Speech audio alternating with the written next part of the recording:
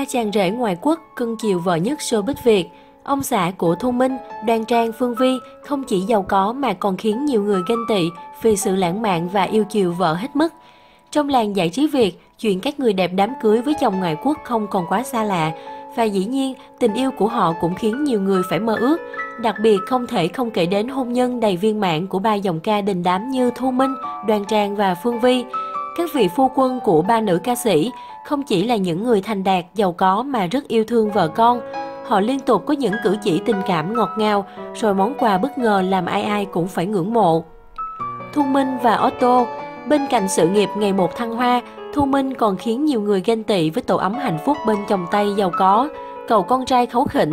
Ông xã của nữ huấn luyện viên giọng hát Việt 2017 là doanh nhân thành đạt người Hà Lan, Otto.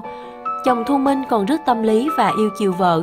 Dù xuất hiện ở bất cứ sự kiện nào thì cả hai đều không ngần ngại trao nhau cử chỉ tình cảm, rồi tặng những món quà xa xỉ hàng tỷ đồng.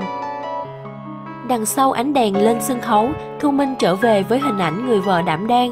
Mỗi khi vào bếp, nữ ca sĩ trổ tài nấu đồ ăn Việt, còn ông xã lại làm món tay cho gia đình thưởng thức.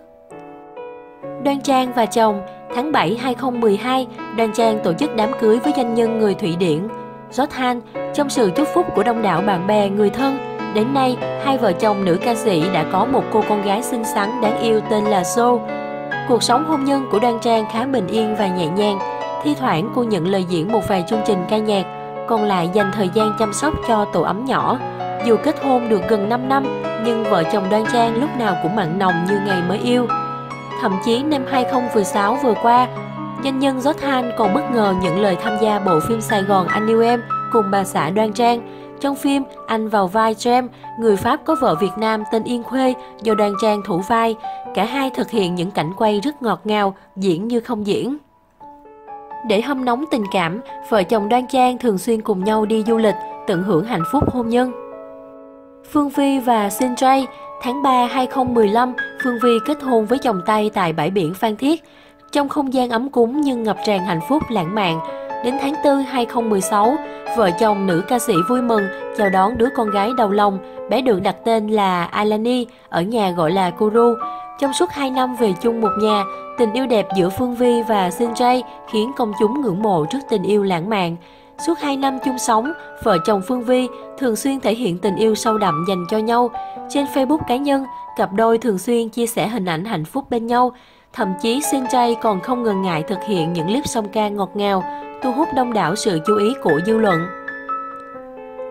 Chồng ca sĩ sống rất tình cảm hết lòng cưng chiều vợ con, ngay cả khi Phương Vi mang bầu, đến khi sinh con gái, Sin Chay đều không quên lưu giữ lại những khoảnh khắc ngọt ngào. Cư dân mạng rất ghen tị với cuộc hôn nhân hạnh phúc của Phương Vi. Cách đây không lâu, công chúng chia sẻ chóng mặt bức thư Sin Chay gửi đến Phương Vi. Dù em mập hay gầy, già hay trẻ, em luôn xinh đẹp. Em đẹp ngay khoảnh khắc đầu tiên anh nhìn thấy em. Đẹp khi em bế con, đẹp khi em hôn tạm biệt anh trước chuyến bay công tác. Em đẹp bất cứ lúc nào anh nhìn em. Anh còn thực hiện clip cover ca khúc Tình thôi xót xa lãng mạn nhân dịp mùa Valentine. Ba năm rồi, cảm ơn người yêu vì đã bên em suốt những ngày vui, những ngày buồn càng không thể rời xa. Valentine đã đến gần, chuẩn bị nói lời yêu tới tấp các bạn ơi, Phương Vi viết. Người ném chai sai 1, Trường Giang bỏ diễn sai 10, là nghệ sĩ phải chấp nhận việc phá đám của khán giả trong lúc diễn. Dù sao số đông khán giả cũng đã bỏ tiền mua vé, không phải anh muốn làm gì cũng được, một độc giả bày tỏ. Trường Giang bỏ diễn sau khi bị khán giả ném chai lên sân khấu. Hình ảnh cho thấy danh hài Trường Giang đã không hề thoải mái sau khi bị ném chai nước lên sân khấu khi đang diễn.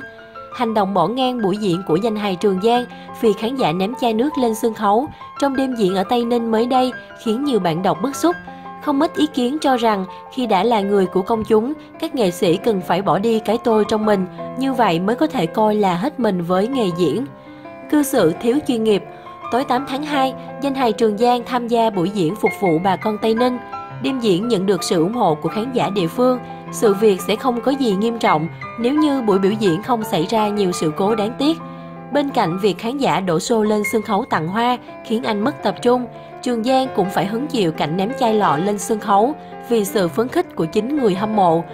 Không giữ nổi bình tĩnh, nam diễn viên hài đi về phía cánh gà, lên tiếng trách móc và quyết định rời sân khấu. Nhiều người nhận định việc làm trên của danh hài Quảng Nam thể hiện sự thiếu tôn trọng dành cho khán giả. Trước phản ứng gay gắt của bạn trai Nhã Phương, rất đông bạn đọc khẳng định phản ứng của anh là thiếu chuyên nghiệp. Một số người cho rằng đó cũng là hậu quả mà anh đáng phải nhận vì cách cư xử thiếu thông minh của mình. Con Dung xéo lắm cũng quăng, việc ném chai lọ lên sân khấu cũng chỉ là hành động đáp trả của người dân khi thấy thần tượng liên tục gọi bảo vệ tới đuổi mình, bạn đọc Phương Anh phê phán.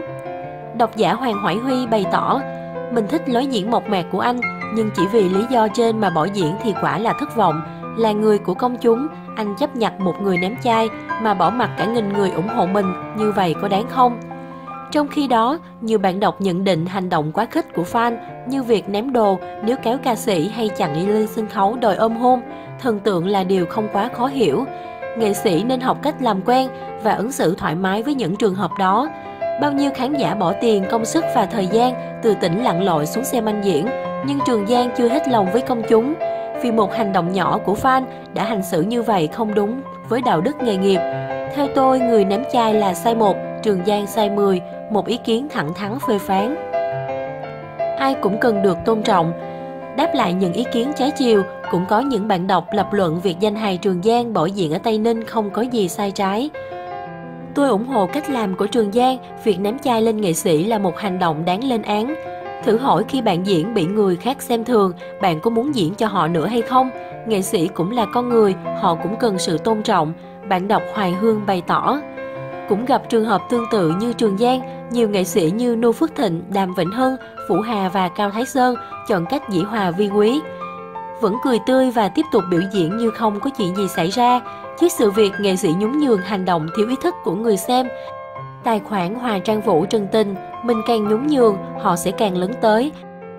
Đâu phải bỏ ra 3 năm đồng mua vé là bạn có quyền xem người khác như trò hề, những anh hùng bàn phím thay vì ở đó trách Trường Giang nên lên án khán giả vô ý thức kia thì hơn.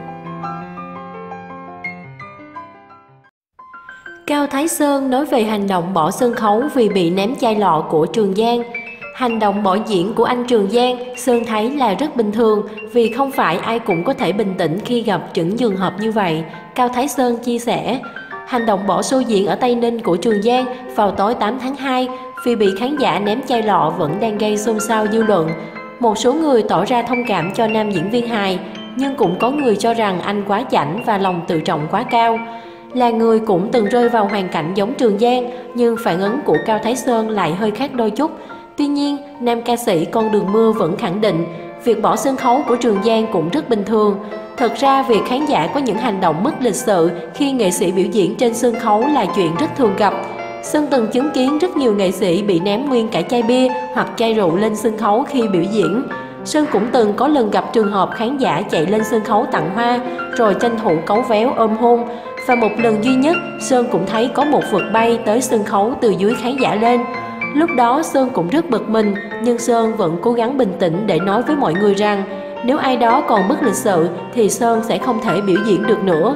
Ngay lúc đó vì khán giả ném vật lạ lên sân khấu liền bị những người xung quanh chỉ trích. Bản thân người đó cũng xấu hổ vì hành động vô văn hóa của mình khi bị nói thẳng trên sân khấu. Còn đối với hành động bỏ diện của anh Trường Giang, Sơn thấy rất bình thường vì không phải ai cũng có thể bình tĩnh khi gặp những trường hợp như vậy. Nghệ sĩ biểu diễn cũng cần được tôn trọng. Vì thế một con sâu làm rầu nồi canh khiến cho show diễn trở nên không được hoàn hảo. Nghệ sĩ mất cảm xúc khi biểu diễn thì khán giả cũng nên thông cảm vì điều đó.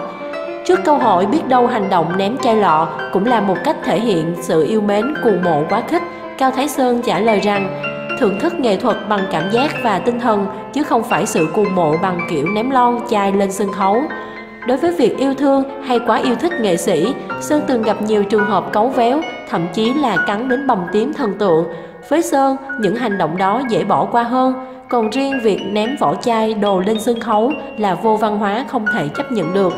Tuy nhiên, khi được hỏi tại sao các nghệ sĩ khi đi diễn ở những sân khấu quá gần khán giả mà không yêu cầu được bảo vệ nghiêm ngặt để tránh những tình trạng đáng tiếc như trên, Cao Thái Sơn chia sẻ, thực sự việc bảo vệ kỹ càng và ý thức khán giả ở nhiều nơi chưa cao là hoàn toàn đúng. Tuy nhiên, điều đó không có nghĩa là nơi nào cũng vậy. Tất nhiên mình luôn yêu cầu ở đâu cũng được bảo vệ, tuy nhiên ở nhiều nơi bảo vệ không còn là bảo vệ nữa, họ đứng nhìn hoặc chụp hình như một khán giả luôn.